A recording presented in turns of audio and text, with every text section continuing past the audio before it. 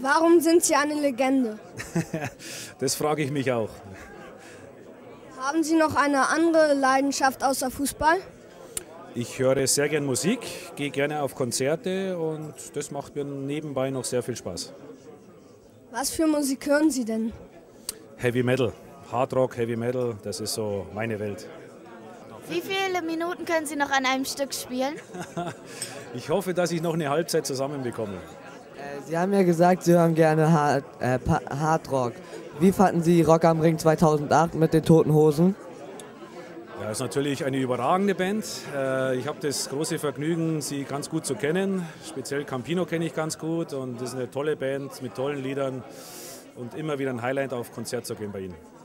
Und äh, wie war Ihre Zeit bei Liverpool mit äh, Steven Gerrard und den ganzen anderen Liverpool-Stars? Ja, es war eigentlich mein, meine tollste Zeit als Spieler.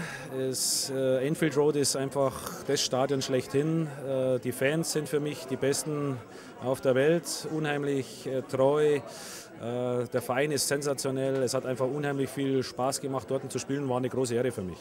Dankeschön.